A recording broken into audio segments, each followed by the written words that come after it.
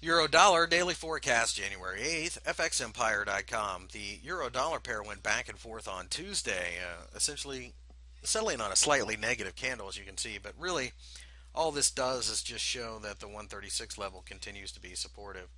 Uh, if we broke down be, below 135.50, there might be a little bit of a sell off. A move above 137 has us heading to 138.